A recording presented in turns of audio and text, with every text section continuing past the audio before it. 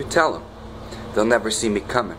I'll trespass in your mind and leave it running in circles, chasing its tail. I'm setting sail, crisscrossing borders between fact and fiction. It's like simple addition.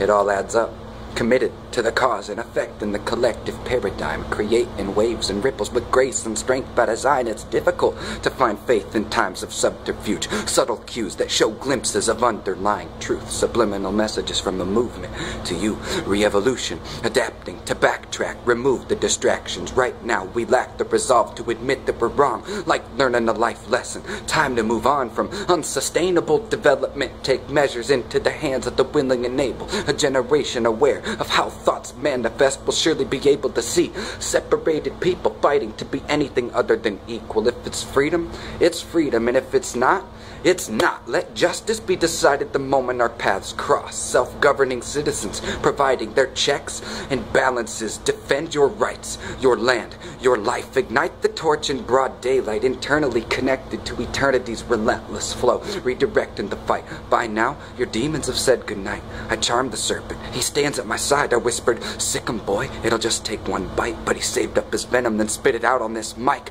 Viper status flex. Might think he's got no poison left, but I'm a shapeshift away from sinking my fangs into your neck. An elemental savage with that panther consciousness, aware of my presence and the way it reflects lunar energy as if it wasn't the sun's. Trust me, I only use the shadows to become one with the night to keep the bastards at bay, hidden in darkness till they make easy prey. It's the moment they show their face, the beautiful surrender when a hunter's gaze is replaced with a look of surprise. Banishment decree, my service to humanity in the fight to be free.